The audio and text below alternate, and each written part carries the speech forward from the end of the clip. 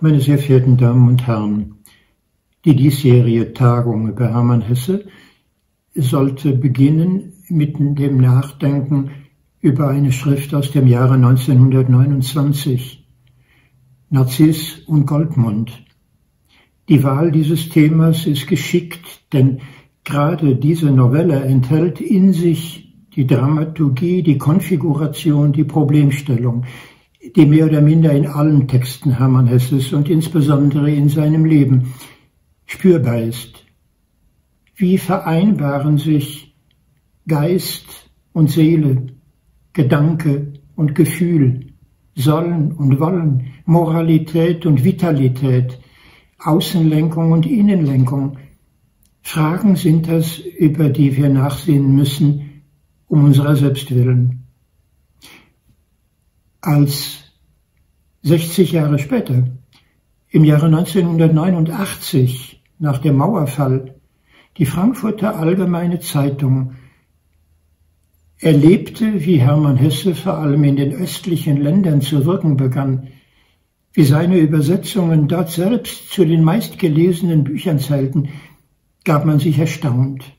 Wieso ausgerechnet Hermann Hesse gibt es nicht Wichtigeres? Thomas Mann zum Beispiel, das wäre empfehlenswert, aber nein, Hermann Hesse. Man kann den Protest der Frankfurter Allgemeinen Zeitung gut verstehen. Narziss und Goldmund sind beides antibürgerliche Existenzen schlechterdings. Der eine ein Mönch, nicht konsumfreudig, eher asketisch, sparsam, nicht der Träger zur Steigerung des Bruttoinlandsproduktes und der andere noch schwieriger, ein Künstler auf der Suche nach sich selber, Selbstverwirklicher sie beide. Eigentlich ist das gefährlich. Ein CEO im Management einer Bank beispielsweise, der die Wirtschaftsteilseite der Frankfurter Allgemeinen liest, kann natürlich im Kulturteil selber das Programm ersehen, an dem er sich abends denn von seiner langen, schwierigen Tagesarbeit im Konzertsaal oder Theaterraum zu erholen vermag.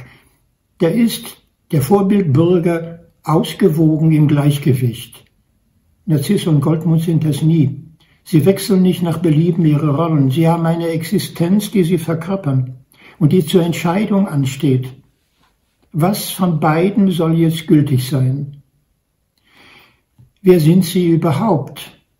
Narziss und Goldmund.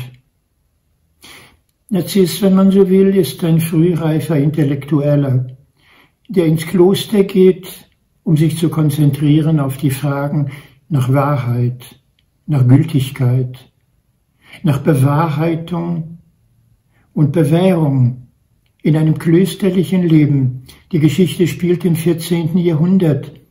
Draußen mögen wüten die Tragödien der Pest, des Durcheinanders im Politischen. In der Klosterzelle findet Narziss seine Ruhe, seine Beschaulichkeit, die unmittelbare Geborgenheit im Göttlichen. Er liebt die toten Sprachen Latein und Griechisch, liest zu seinem Vorteil und mit Leidenschaft die Texte des Aristoteles oder Platon. In denen ist er zu Hause. Das ist seine Heimat. Ganz anders Goldmund. Er hat einen Vater, von dem die Mutter sich entfernt hat. Und wie in Zorn darüber schickt der Vater Goldmund ins Kloster. Wie wenn er die Lasterhaftigkeit, die Ausgelassenheit, die Unmoral der untreu gewordenen Ehefrau an dem Sohn rächen wollte. Jetzt gilt es Zucht und Ordnung und Sittsamkeit eindeutige Konzentration auf das Richtige. Goldmund bemüht sich, die Gunst des Mönchs Narziss für sich zu gewinnen durch Fleiß, durch Anpassung. Aber es ist Narziss der Mönch, der ahnt, dass sich ein anderes in diesem jungen Leben bewegt und zum Leben gebären möchte. Das Erstaunliche. Der Mönch Narziss wird für den noch suchenden Goldmund zu so etwas wie einem freundschaftlichen Ersatzvater. Er verbietet nicht, er duldet, er überdeckt die strenge, grausame Seite des Vaters. Narziss verteidigt ihn, den Vater, gegenüber der Kritik des Narziss. Er war nicht nur so, er meinte es auch gut. Ja, aber die Folgen sind spürbar. Narziss weiß, dass Goldmund gerne von seiner Mutter redet. Sie ist ihm präsent, obwohl er sie entbehren musste. Aber vom Vater spricht er kaum. Und nun begibt sich etwas ganz Entscheidendes. Man kann einen Menschen am besten verstehen, wenn man auf das achtet, was er nicht sagt, was er nur zwischen den Zeilen andeutet, was er vor sich selber verbirgt. Und da kommt es zu einer erschütternden Offenbarung. Unmittelbar spricht Narziss den Vaterkomplex, die geheime, verdrängte Gestalt der Seele in Goldmund an. Und die Erschütterung ist wie ein Erdbeben, wie eine epileptische Verkrampfung. In Ohnmacht sinkt dahin Goldmund. Er ist mit dem Unbewussten auf eine Art konfrontiert, die den alten Schrecken erneuert. Wie kann Goldmund an der Seite des Narziss zu sich selber finden? Können sie je zueinander gelangen? Es wird der Wunsch Goldmunds sein, immer näher seinem Freund und Vertrauten zu kommen. Narziss aber weist dieses Anersuchen ab. Wir werden nie zueinander finden. Wir sind einander so fremd wie Sonne und Mond. Wir dürfen nicht miteinander verschmelzen. Unsere Aufgabe ist, einander zu erkennen in der Klarheit des Unterschiedes. Das ist ein einziger Unterschied, sagt Goldmund, dass du immer Unterschiede suchen musst. Aber es bleibt dabei. Die Differenz zwischen beiden läuft hinaus auf ein Entweder-Oder, ist nicht kompatibel. Es sind Gegensätze, die gerade weil sie sich wechselseitig hervortreiben, komplementär ergänzend sein können und als solche verdienen sie Anerkennung, aber nicht in diffuser Verschmelzung, in Undeutlichkeiten, in nicht zu rechtfertigenden Übergängen. Das eine kann nicht sein, das andere. Worin besteht es denn? Narziss erklärt es in immer neuen Gesprächen Goldmund. Er selber, der Altphilologe, der Asket, der Mönch, sucht die Reinheit des Denkens. Aber wie kann die Klarheit der Begriffe sich verhalten zum Leben? Das Problem des Aristoteles. Der klare Begriff liebt das Sein, aber nicht das Werden. Das Problem war bei Aristoteles gar nicht lösbar. Wie kann es substanzielle Veränderungen überhaupt geben?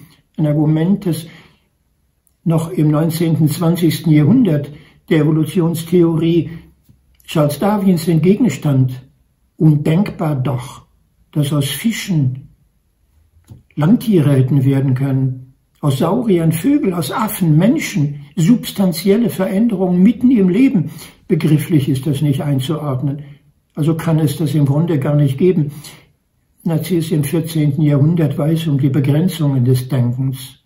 Und er sieht die eigene Rationalität, den Aristotelismus oder den Thomismus in seiner ganzen Ausbildung und Gelehrsamkeit im Widerspruch zum Leben. Das ist voller Veränderung, voller Werdeprozesse, voller Umbrüche. Ist das Denken nur dafür da, das Leben zu vermeiden? Der Verdacht mag ihm kommen. Wird er nicht schuldig daran? Goldmund jedenfalls ist so ein ganz anderer. Er denkt nicht in Begriffen, allenfalls in Bildern. Und dafür beneidet ihn Narziss. Er ist in seiner Sensibilität offen für die Sinneseindrücke. Er schaut die Schönheit der Welt in ihren Gestaltungen. Er träumt ihnen nach. Er versucht, durch Nachbildung dem schönen Ausdruck zu verleihen in der eigenen Kreativität. Im Grunde ist Goldmund berufen, ein Künstler zu sein. Und die Größe des Narziss ist, dass dieser Weg von ihm nicht nur geduldet, sondern gefördert wird, dass ihm gänzlich andere ist, dasjenige, was er vorbereiten und zum Leben heben möchte. Und diese Duldsamkeit, dieses Wohlwollen ist der Schutz, den Goldmund braucht und der ihn auf allen seinen Lebenswegen begleiten wird. Nicht ohne Gefahr, wie Narziss selber weiß, und er stellt es einander gegenüber. Wir werden einander nicht begegnen, so wenig wie Sonne und Mond, aber beide haben wir unsere Gefahren. Deine Gefahr wird sein, in der Sinnlichkeit wie in einem Strudel zu versinken. Die Gefahr unseres Denkens ist, zu ersticken an der Luftleere der Höhe. Du ruhst in der Innigkeit an der Brust der Mutter, ich aber wache in der Dürre der Nächte in der Wüste. Beides lässt sich miteinander nicht vereinen, beides aber braucht sich zur wechselseitigen Ergänzung. Dieses Wissen ist der Hintergrund der Erzählung von Narziss und Goldmund.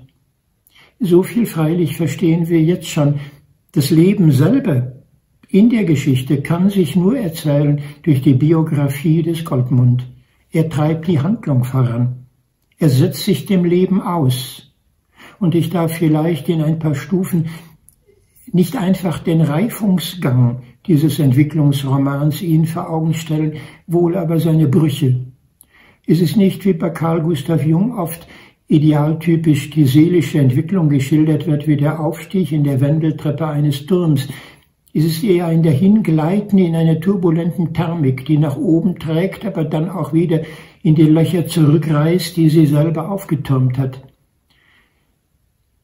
Es gibt einen Abend des jungen Goldmund, wo er zwei Mädchen trifft und deren Begegnung als äußerste Verwirrung nach Maria Bronn ins Kloster zurückträgt.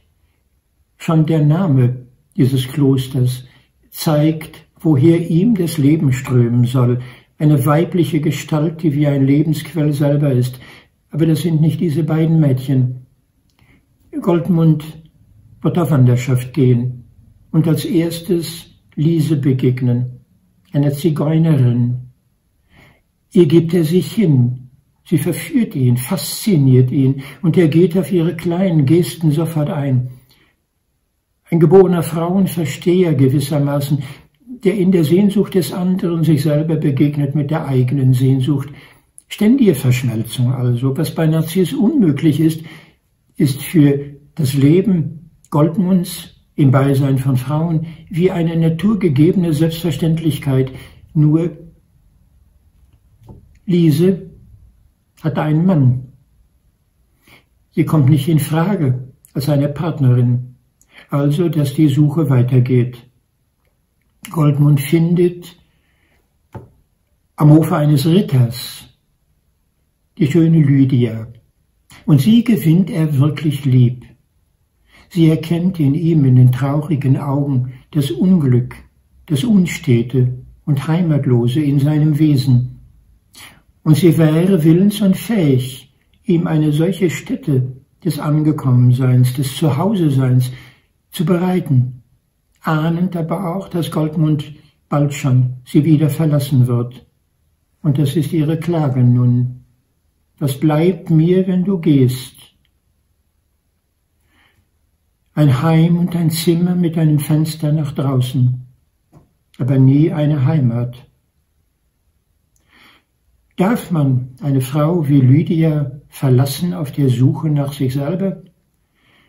Das Geheimnis des Narziss wird bleiben, dass keine Frau ihm genügt, weil er im Hintergrund etwas ganz anderes, die Frau als solche, die Gestalt der Urmutter, wieder sucht. Das weiß er nicht, aber das fühlt er und das treibt ihn voran. Im Fall der Lydia kommt es zu einer Ménage à trois. Lydia hat ihre Schwester Julie dabei und das lauter Schuldgefühl verrät sie die Begegnung ihrem Vater, der vertreibt alsbald in Sorge um die Moral seiner Töchter diesen Verführer, diesen Vagabunden, diesen Landstreicher. Und so tatsächlich wird es weitergehen. Bald schon wird er dem streunenden, am Rand der Kriminalität existierenden Viktor begegnen, ein Schnapphahn, der zugreift, wo irgendwer etwas bekommen kann, ob Mensch oder Beute, ob Geld oder Nahrung. Viktor erzieht wie eine drohende Gefahr, wie ein Gewitter, diesen Zögling Goldmund. Es ist nicht der Aufstieg in Reifung zu sich selber. Es ist ein Rauf und Runter von Gefahren, die bestanden sein wollen. Schließlich kommt es dahin, dass Viktor Goldmund gefährlich wird auf Leben und Tod. Und um am Leben zu bleiben, tötet Goldmund seinen Gefährten in Notwehr, aber voller Schuldgefühle. Es ist zum ersten Mal, dass er sich bei den Abenteuern des Lebens blutig gemacht hat. Dies ist keine Freude mehr, die er empfangen hat und geschenkt hat, kein Leid der Trauer mehr darüber, wie vergänglich doch die Freude gewesen ist. Dies ist die Beendigung eines Lebens, gleich einem Verbrechen, mühsam zu entschuldigen durch die Notwendigkeit der Rettung des eigenen Lebens. Aber was für einen Anspruch hat man, sich zu retten auf Kosten eines anderen? Das alles ist verwirrend. Zum ersten Mal wieder sucht Goldmund eine Kirche auf. Wie wäre da das Versprechen einer Heimat, eines Verstehens, einer Vergebung, wie er es bei Narziss ein Stück weit doch erfahren hat. Aber in dieser Kirche entdeckt er die Gestalt einer Madonna, die Urfrau, die er ständig suchte, in Gestalt der ewigen Mutter Maria. Diese Figur faszinierte sie ihn. Er sucht nach demjenigen, der sie geschaffen hat, dem Meister Nikolaus. Bei ihm geht er in die Lehre. Bei ihm erschafft er ein Bild des Narziss, in der Person freilich des heiligen Johannes, des Lieblingsjüngers Jesu, an der Seite der Maria, mit der gemeinsam er unter dem Kreuz steht. Nur die Gestalt des Johannes erschafft Goldmund. Die Gestalt der Maria daneben fehlt. Sie wartet auf ihn. Sie müsste noch erschaffen werden. Nikolaus hat eine Tochter, Lisbeth, und eigentlich spräche manches dafür, er übernehme das Geschäft,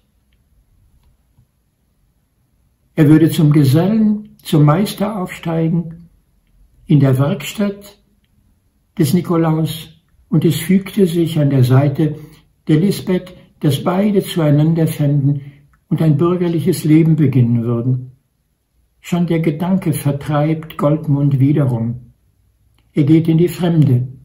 Er unternimmt an der Seite des Handwerkers Robert eine Pilgerwallfahrt nach Rom. Man sollte denken, ausgerechnet. Unterwegs treffen sie Lene, ein Mädchen, in das Goldmund sich wieder, Hals über Kopf und über beide Ohren verliebt. Lene aber ist anders als Lydia beispielsweise oder auch als Lisa. Sie liebt auf eine Art, die sphinxhaft ist, unheimlich, verlockend und verführerisch in eins. Und so kommt es dahin, dass jemand sie zu vergewaltigen droht. Und wie um sie zu retten, nimmt Goldmund einen Stein und erschlägt den Wüstling, der über sie herfällt. Er rettet damit die Geliebte. Aber nun ergreift ihn selber eine Erfahrung, die er kaum zu deuten vermag. Auf dem Gesicht Lenes, während er ihren Vergewaltiger erschlägt, malt sich eine wollüstige Genugtuung, eine Art Befriedigung im Sadismus, eine Unheimlichkeit der Freude an Schmerzzufügung und Tod, ist das auch das Bild einer Frau, die er lieben kann? Gehört auch das zur Schattenseite des Weiblichen? Was geht da vor sich? Wer ist er selbst? Wen liebt er überhaupt? Und was passiert in ihm? Er hat den Mord begangen.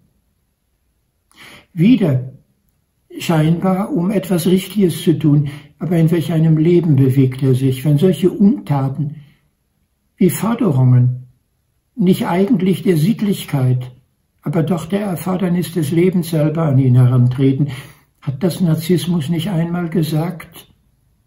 Dir scheint, dass die Liebe zu den Frauen wie eine Sünde ist. Du glaubst, das Richtige stünde in den Geboten. Und freilich, die Gesetze sagen es dir, aber Gott ist nicht nur in den Gesetzen. Es ist möglich, dass du in allen Gesetzen bleibst, aber fern bist von Gott.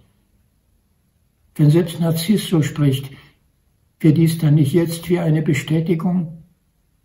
Und es könnte und müsste weitergehen? Wohin dann aber? Ein neuer Aufbruch. Ein Graf ist da, mit einer wunderschönen, verlockenden Frau Agnes. Natürlich auch in die sehnsüchtig herabschauende, in gewissem Sinne an der Nähe ihres berühmten Gatten vereinsamte, verliebt sich Goldmund.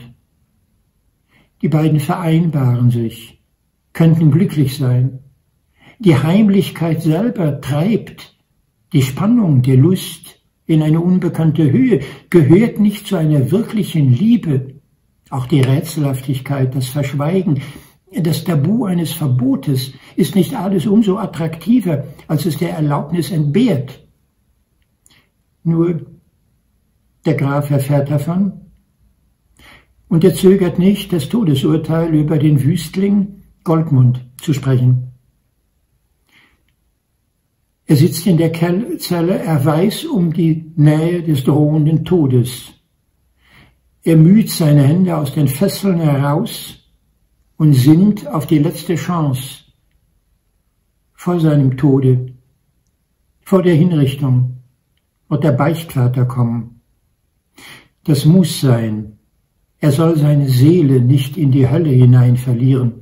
Aber das wäre seine Chance. Käme dieser Mann, würde er ihn erschlagen, die Kutte sich überziehen und dann die Flucht ergreifen. Unerkannt ins Unbekannte. Es kommt ein Mönch und es ist Narziss, der nicht länger mehr so heißt, sondern sich selber den Namen als Abt des Klosters Maria Brann Johannes gegeben hat. Es ist die ahnungsvolle Bildgestalt, die Goldmund selbst entworfen hat, die sich erfüllt hat in seinem Lehrmeister.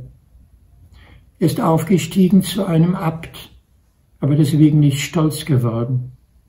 Er ist nie Professor der Theologie, verschraubt in die Gelehrsamkeit hinein, aufgestiegen. Er ist geblieben, was er immer war, ein Mensch, der um seine Begrenzungen weiß, der seine Ergänzungen sucht in den anderen, entgegengesetzten.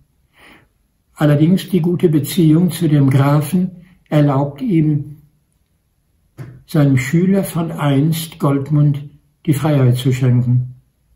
Und nun im Kloster beginnt Goldmund erneut die Arbeit zu schaffen, die sein Leben im Durcheinander, im Chaotischen, im Triebhaften, im Wüsten, aber auch im geistig Suchenden, die Schönheit Liebenden, um Vollendung Ringenden rechtfertigen könnte. Es müsste möglich werden, die Gestalt der Madonna zu schaffen der Frau, die als Eva zur Sünde verführt und als die Mutter Maria das Heil verspricht und in diesen Widersprüchen sich selber eint und damit der menschlichen Seele Einigung ermöglicht. Wäre es denkbar, es wäre der Zusammenhalt und die Zusammenfügung von allem Erlittenden auf sich genommenen. Es machte das Opfer eines nicht dann vergeudeten Lebens, lebenswert. Die Arbeit beginnt mit einem Lesepult. Dann aber begibt sich Goldmund an die eigentliche Arbeit, um zu erfahren, dass das, was er sucht, wie jedes wirkliche Kunstwerk, nur vordergründig bleiben kann, nie vollendbar ist. Aber das ist es auch, was der Abnarziss ihm zu sagen versteht. Auch sein Denken ist niemals abschließbar. Du suchst die Wahrheit in den Sinnen, in den Bildern, siehst darin eine Bedeutung, eine Wahrheit, die du darin erkennst. Gott sei Dank bist du kein Mystiker. Die Mystiker halten fest an ihren Vorstellungen und gehen damit um, wie wenn es Begriffe wären. Alles machen sie damit unklar. Sie kommen von den Vorstellungen nicht los. Du willst das gar nicht. Du lebst in den Vorstellungen, aber du gestaltest sie so, dass sie einen Hintergrund öffnen, dass sie den Himmel auf die Erde holen. Wir mit unseren Gedanken versuchen ein ähnliches. Und wir sind stets im Zerbrechen an dem Unbegreifbaren, das doch das Leben selber ist? Werden wir nicht schuldig, indem wir von Gott reden und seine Schöpfung darüber vergessen? Und bist du nicht im Grunde mit all dem, was du getan hast, unschuldiger, eben weil du ein Künstler sein wolltest, womöglich wirklich geworden bist? Nicht einmal darüber gibt es ein sicheres Urteil. Was wäre dann als Vollendung zu sehen, wenn es im Wirken keine gibt, im Leben keinen tatsächlichen Abschluss?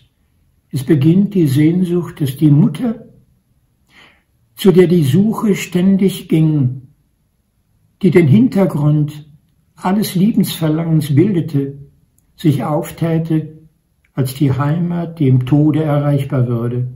Fast ein romantisches Motiv. Sterbend geht man ein in die Mutter und erlebt als Strafe den Tod dafür.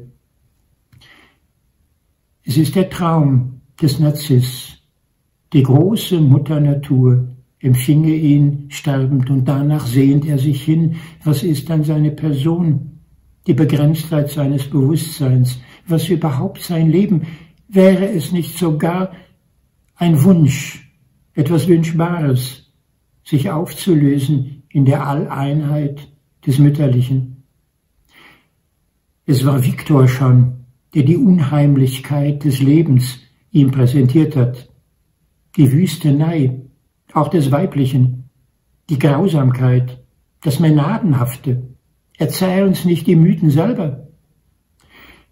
In der Schule des Dionysos können die Frauen den Sänger Orpheus, den Künstler schlechthin, im Spielen der Leier zerreißen und in den Tod schicken in ihre Wüstenei, ist nicht das Gesicht der Mutter Natur gleichzeitig verführerisch und schrecklich und würde dieses Wissen nicht bestätigt durch die Mythen bei so vielen Völkern.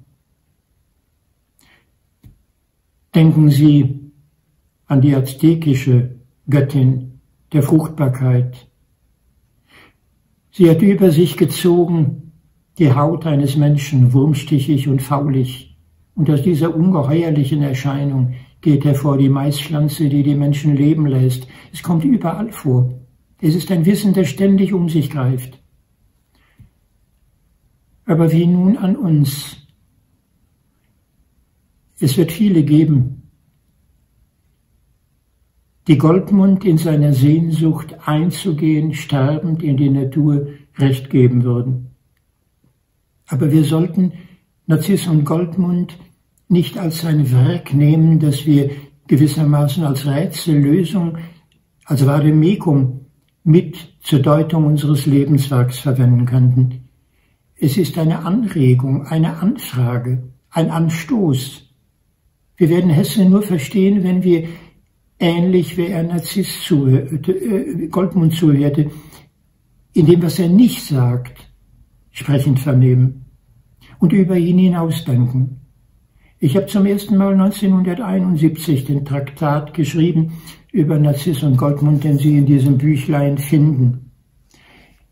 Das ist drei Jahre bevor ich dann über die Strukturen des Bösen und über die javistische Urgeschichte exegetisch, psychoanalytisch, philosophisch nachgedacht habe. Und mir die Idee kam, es dürfe kein Christentum geben, das nicht therapeutische Kraft habe zur Vermittlung der Gegensätze. Es ist genau das, was Narziss versucht. Er überdeckt das Trauma des Vaters. Er holt das Unbewusste wieder hervor, durch eine Reizdeutung, die beinahe lebensgefährlich ist, weil sie nicht gekonnt gehandhabt wird, weil sie das Richtige trifft, aber kaum vermittelt. Und Narziss geht nicht an der Seite Goldmunds den Vaterkomplex, den Mutterkomplex zu bearbeiten. Alles verbleibt im Umkreis von Autoren, die Hermann Hesse in seiner Zeit lesen konnte und die wir im Rückgriff sofort identifizieren können. Da haben wir den Geist als Widersacher der Seele. Ludwig Klages, der Erfinder der Graphologie, konnte darin sein Hauptwerk schreiben. George Lukács hat in ihm ein Vorboten des Irrationalismus und sogar des Faschismus zu erkennen gemeint. Es ist ganz ungerecht. Nur Klages beschreibt genau so das Denken, die Naturwissenschaften fixieren schon in ihren Experimenten, schon in den Festlegungen auf die Experimentalbedingungen, schon auf die Einengung des Erkennbaren, das in eine Formel gepresst werden soll. Sie vergewaltigen die Wirklichkeit, die sie festschreiben. Das Lebendige aber wandelt sich ständig, ist selber dynamisch, wehrt sich gegen den Begriff. So sagt auch Narziss, wir denken nicht in der Natur, wir denken gegen die Natur. Das könnte bei Ludwig Klages überhaupt nicht besser stehen. Was ist es mit der Gestalt des Vaters? Bei Sigmund Freud finden Sie die Erklärung dafür, der Oedipus-Komplex. Ein Junge liebt seine Mutter, aber der Vater steht dagegen. Er verbietet genau diese Liebe. Er ist der Inbegriff des Inzestverbots. Er verkörpert die Todesstrafe für eben dieses Begehren mit der Mutter sich zusammenzufügen, gegen den Vater. Freud hielt es für ein Naturgesetz. Wir basteln in unserer Gesellschaft sehr daran, dass es dabei nicht bleibe. Der Patriarchalismus sei keine Naturordnung, wissen wir heute, glauben wir heute. Familien müssten auch anders sein, als wir sie um 1900 sich darstellten. Am Ende des viktorianischen Zeitalters. Wir dürften dabei lernen. Aber was hätten wir dann zu lernen von Religion, von Vatersein, von Mütterlichsein? wie zur Deutung von all dem, was Hermann Hesse gestaltet, ist um 1913 ein Schüler Sigmund Freuds, Otto Rank. Er schreibt schon dem Titel nach etwas, das Hermann Hesse unmittelbar betreffen könnte. Das Inzesttabu in Dichtung und Drama, Grundlegung einer Psychologie des dichterischen Schaffens, was Otto Rank meint, ist, dass man zum Künstler, zum Dichter wird, genauso wie es bei Goldmund von Hermann Hesse selbst beschrieben wird, indem man gebunden bleibt an die Mutter, incestuös von ihr überhaupt nicht loskommt, aber im Streben danach zugleich auch wieder von ihr weggetrieben wird. Es ist die Biografie Goldmunds par excellence. Und so entsteht ein Künstler. Er kann nicht heimisch werden in der bürgerlichen Welt. Sigmund Freud meinte mal, Künstler sind Neurotiker, die den normalen Weg zur Erringung der Liebe einer Frau und der Gunst des Publikums nicht durch ihre Persönlichkeit schaffen, sondern eintreten durch die Hintertür Kraft ihres Werks auf sich ziehen. Dann bewundert man sie, wenn es ihnen gelungen ist durch ein Kunstwerk, das alles rechtfertigt. Aber ist ein solcher Lebensweg wünschenswert? nicht in sich selber tragisch zu nennen. Die Rechtfertigung einer sich bewährenden Neurose soll das die endgültige Beschreibung des menschlichen Lebens bleiben. Otto Rank war lange Jahre der Meinung, die Psychoanalyse selber sei der Ersatz für die christliche Religion. So dachte man damals. Aufklärung, Psychoanalyse, Befreiung von falschen Göttern, von der Dämonisierung eines Hintergrundes von Gott, der ständig abergläubisch mit Wundereingriffen vergegenständlicht werde. Später dann, als Otto Rank nach Amerika ging, entdeckte er eine neue Form von Religion. Ich muss sie nicht schildern. Ich möchte eigentlich nur, dass ihr wir nachträumen. Jetzt, in den Wochen nach Pfingsten, dürfen wir es vielleicht. Wenn wir von Vater hören, wenn wir im Vater unser Jesus selber Gott Vater nennen hören, bekommen viele einen Schrecken. Sie sind dagegen, weil nur das Männliche, das Patriarchalische, das Unterdrückende, das Verbietende, das Moralisierende, das Zensierende darin sich verberge. Aber so ist es nicht gemeint. So darf es eigentlich auch nicht bleiben. Wie wenn das Künstlerische selber therapeutisch wäre. Etwas geahnt davon hat wirklich Sigmund Freud. Davon wagt nicht sich Rechenschaft zu geben, Narziss, wie wenn seine Sehnsucht hineinströmen würde, nicht um die Gedankenklarheit zu verleugnen, aber doch in das Träumen hinein und sich darin ergänzen wollte. Psychoanalyse ist gerade dies, die Rationalität geht auf die Suche nach dem Unbewussten. Sie gräbt die Schächte in der Tiefe der Erde, um darin Gold oder Diamanten zu finden. Verborgenes, was sich geformt hat unter dem Lastgewicht von Jahrhunderttausenden, aber hervorgebracht werden kann als eine unverdenkliche Kostbarkeit – wie wenn das Denken selber dichterisch würde und dadurch befreiend erlösend, dann begriffen wir, was eigentlich auch von Hermann Hesse in seiner dreijährigen Psychoanalyse im Umkreis von Carl Gustav Jung gesucht wurde, aber in dieser Intensität nicht zum Ausdruck kam. Wir haben im Christentum eigentlich eine Vorbildgestalt von einem Dichter, der Geschichten erzählt, nicht als Kunstwerke, die mit dem Nobelpreis geziert werden könnten, sondern die als Erlösungsgeschichten in die Not der Seele von Menschen hineinsprechen. Da wird geschildert die Depression und Mutlosigkeit und Resignation eines Mannes, der erlebt hat, dass er machen kann, was er will. Es misslingt ihm. Es wird zerstört. Es ist umsonst. Und Jesus erzählt im vierten Kapitel des Markus-Evangelium von einem Bauern, der das so erlebt. Er hat gesät. Aber der Acker, wie üblich in Palästina, ist steinig.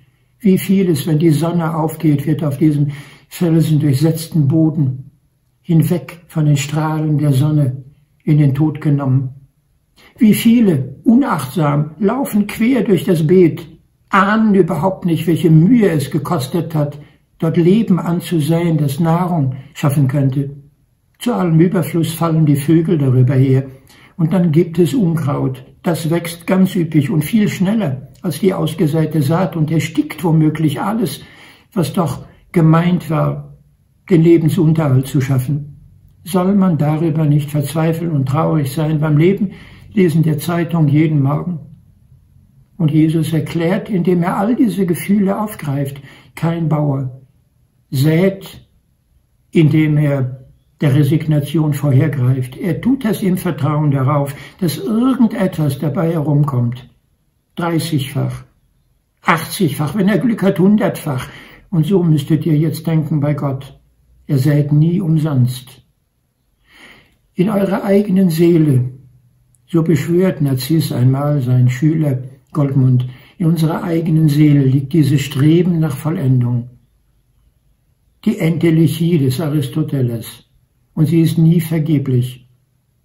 Sagen wir es einmal mit Rainer Maria Rilke. Du darfst nicht warten, dass Gott zu dir geht und sagt, ich bin. Ein Gott, der seine Stärke eingesteht, hat keinen Sinn. Da musst du wissen, dass er dich durchweht von Anbeginn. Und wenn dein Herz dir glüht und nichts verrät, dann schafft er drin. Es möglich, wir lernten in den Bildern der Sinne die Liebe, die es uns erlaubt, ganz zu werden und eins zu werden in den Widersprüchen. Geglaubt hat Goldmund das von der Kunst. In ihr kämen Trieb und Verlangen im Ausdruck der Schönheit zu sich selber und zu ihrer Vereinigung, aber abgespalten von Narziss bliebe dies nur eine Lebenshälfte in Unversöhntheit. Es müsste und dürfte zusammenkommen. Und dann wäre die Liebe die letzte Auskunft. Oh ja, gewusst hat das auch Hermann Hesse. Sie alle, die mir jetzt zuhören, kennen natürlich den Namen seiner Frau Ninon. Ein kleines, fast lustiges Gedicht richtet er an sie.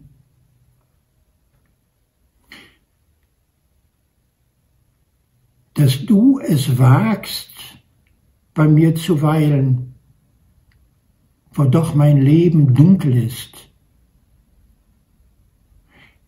Und draußen Sterne dahin eilen und alles voll Gefunkel ist. dass du in des Lebens Getriebe stets eine Mitte weist. Macht dich und deine Liebe für mich zu einem guten Geist. Lieber Hesse, müsste man da denken, von solchen Engeln und solchen guten Geistern sind wir alle umgeben, wenn wir uns auf sie einlassen. Wie wäre es, es hätte Goldmund die Lydia zurückgewonnen. Und wenn nicht die, Goldmund war sich sicher, dass keine Frau nicht liebenswürdig sei. Sie alle vermöchten durch vielleicht ihr unschönes Äußeres eine umso schönere Seele zu finden. Und alles wüchse zueinander. Warum war es ihm nicht möglich, im Hause seines Meisters Nikolaus Lisbeth wiederzufinden? Er kam zu ihr zurück und er fand sie wieder lebensverloschen, vergrämt, vereinsamt.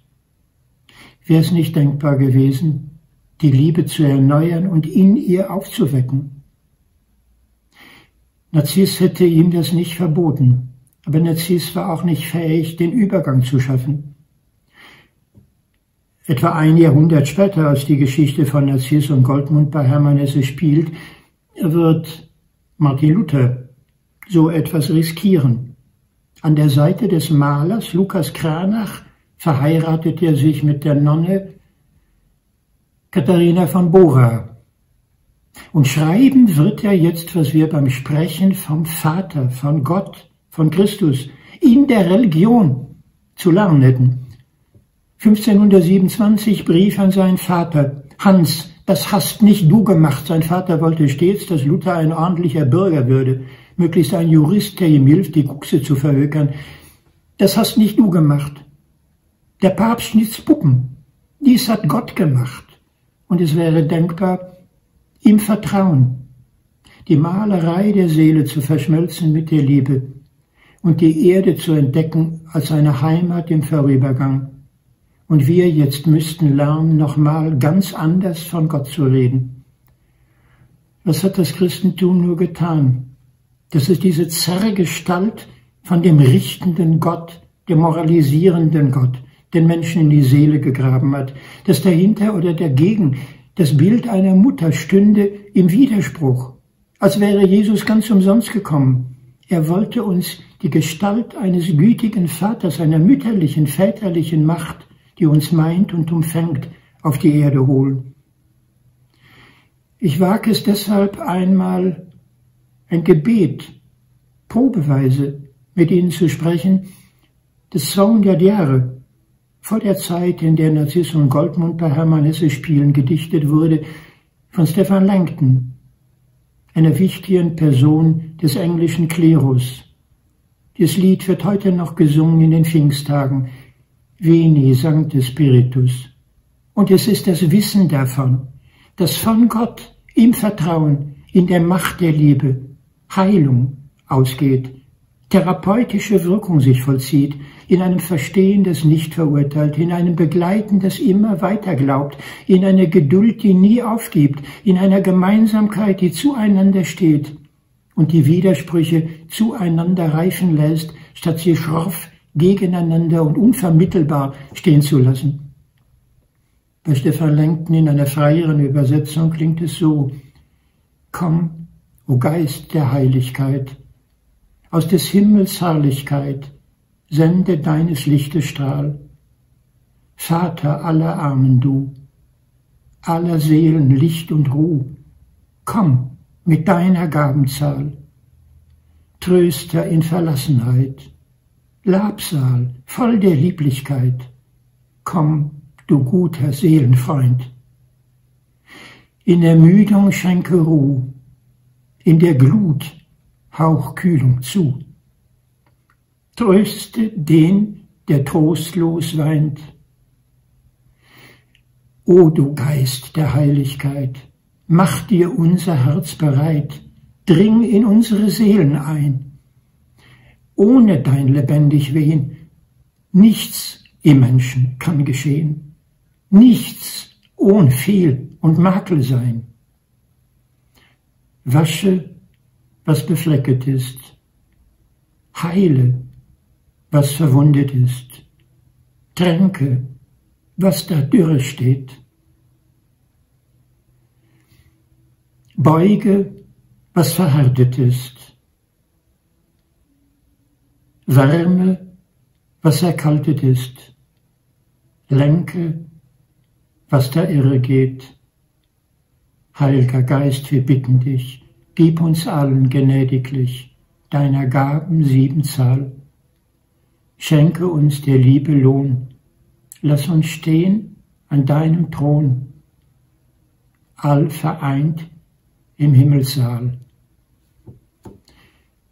Wenn dies Religion wäre, hätten wir die Ernstnahme des Persönlichen in seiner Enge, seiner Gebrochenheit, seiner Verlorenheit, seiner Irrtumsfähigkeit und fänden immer wieder in einem alles umgreifenden und ergreifenden Vertrauen die Ergänzung in diesem anderen. Dass Gott nicht die Natur ist, wäre das Beseligende. Und Narziss suchte in all den Gedanken etwas, das sich im Glauben als Person und Liebe nahe käme. Und es wäre der Gegensatz nicht länger Narziss und Goldmund. Sie beiden wüchsen zueinander in der Vorbildgestalt Jesu. Und es legte sich wie ein Segen der Liebe über jeden Einzelnen von uns, in seiner Individualität, in seiner Vergänglichkeit, die Mutter Natur meint uns nicht wirklich, liebt uns nicht wirklich, es wäre Augenwischerei, die Ambivalenz bleibt, die es weiß, natürlich, Goldmund, die sagt, ganz sicher, Narziss, wie soll man dann ohne in die Mystik, in das Nicht-zu-Denkende, das absichtlich sich zweideutig unklar haltende, abgleiten, indem man aus dieser Natur in ihren Widersprüchen eine gute Göttin macht, eine überragende Mutter Eva Maria. Wir brauchten ein anderes, in dem die Mütterlichkeit der Liebe in der Väterlichkeit Gottes sich vereint und der Schöpfer eins ist mit unserer Seele. Freilich, das Leid des Narziss bleibt. Man erhebt sich im Geiste zur Vollkommenheit Gottes als des Schöpfers und man leidet auf immer an der Unvollkommenheit der Schöpfung und versteht es nicht. Aber dazwischen tröstet, vermittelt, hilft hinweg als Brücke die Liebe, die wir zueinander finden. Es ist der Gesang des Orpheus gegen die Menaden, die ihn zerreißen. Noch einmal darf ich ein kleines Gedicht von Rilke einfügen, um zu deuten, was gemeint ist. Es ist in unseren Tagen so normal, zu glauben, dass der Tod das letzte Wort über uns hat. Die Naturwissenschaft förmlich beweist es uns. Seele ist ein Produkt der Neuronenmaschine im Gehirn. Mit dem Tod bricht das alles ab und danach kommt gar nichts mehr. Das lernen schon unsere Schüler. Aber wie, wenn das alles nicht stimmt? Wie, wenn die Liebe es überhaupt nicht zu glauben vermag? Wie, wenn wir die Entdeckung eines Menschen an unserer Seite, der nicht nur ein guter Engel ist, sondern wie ein Abbild Gottes uns geschenkt und in die Seele gelegt, ein anderes hoffen und erwarten lässt, dann wäre ein Gedicht Rilkes stimmig. Er wusste nur vom Tod, was alle wissen, dass er uns nimmt und in das Dunkel stößt, als aber sie von ihm nicht weggerissen, nein, leis aus seinen Augen ausgelöst, hinüber glitt zu unbekannten Schatten. Und als er wusste, dass sie drüben nun ihr Mädchen lächeln hatten und ihre Weise wohl zu tun, da wurden ihm die Toten so bekannt, als wäre er durch sie mit einem jeden ganz nah verwandt und ließ die anderen reden und glaubte nicht, und lernte jenes Land, das Wohlgelegene, das immer Süße, und tastete es ab mit ihren Füßen. Es wäre die Erlaubnis, dass Diesseits und Jenseits, Zeit und Ewigkeit zusammenfänden in der Synthese einer umgreifenden Liebe.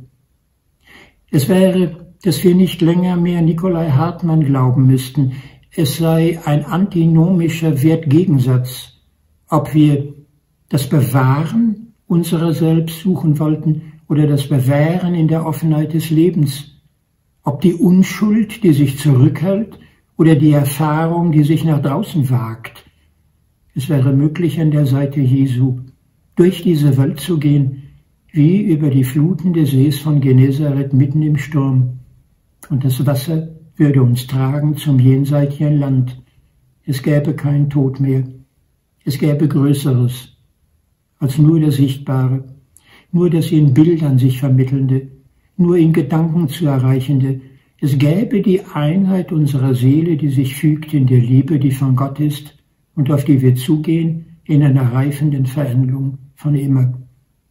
Narziss und Goldmund sagt sie getrennt absichtlich, ich glaube, uns zu provozieren, nach einer Lösung zu suchen, die in seiner Geschichte nicht vorkommt, wenn wir sie in dieser Hermann-Hesse-Tagung ein wenig finden würden. Wäre uns viel geschenkt. Schauen Sie sich um in der Schönheit von Sils Maria und vergessen Sie nicht, die kleine Kammer zu besuchen, in der eine Weile lang kein geringerer als Friedrich Nietzsche gelebt hat. Sie sehen da die Waschschüssel die Kärglichkeit, die Armseligkeit eines Menschen, der verlangte, dass ein Gott der bloßen Askese aufgehoben würde durch Dionysos, dem Gott der Sinnlichkeit. Aber beide müssten eine Einheit bilden, Apoll und Dionysos. Hermann Hesse in Narziss und Goldmund oder nehmen Sie von Kazantzakis in Alexis Sorbas dieselben Widersprüche. Sie müssten die Chance haben, eine Einheit zu gewinnen. Das wäre die Aufgabe der Psychoanalyse, die in der Zeit Hermann Hesse so beeindruckt hat. Sie dürfte sich vollenden. Dann müsste sie selber aber die Ebenen des Religiösen, des Glaubens und des Hoffens wieder alle Sichtbare in sich aufnehmen und das Träumen so lernen, dass es in die Existenz hinein sich vermittelt. Größer ist unsere Seele als alles, was wir von uns selber denken. Die Schönheit bleibt und mit der darf ich Sie verabschieden. Ist es möglich, einem anderen Menschen zuzuhören, wie Narziss es bei Goldmund tut? Er denkt weiter für sich, er denkt sich nur mühsam hinein in Goldmund. Und doch weist er nicht zurück, doch bleibt er bei dem Fremden. Doch erfährt er das eigene als ergänzungsbedürftig im anderen. Wir haben ein paar Tage miteinander. Ich wünsche, dass Sie sie in dieser Ergänzungsbereitschaft, Toleranz, Respekt wechselseitig zu verbringen vermögen. Dankeschön Ihnen für Ihre Geduld beim Zuhören und danke Hermann Hesse für die Vorlage seines Romans Narziss und Goldmund.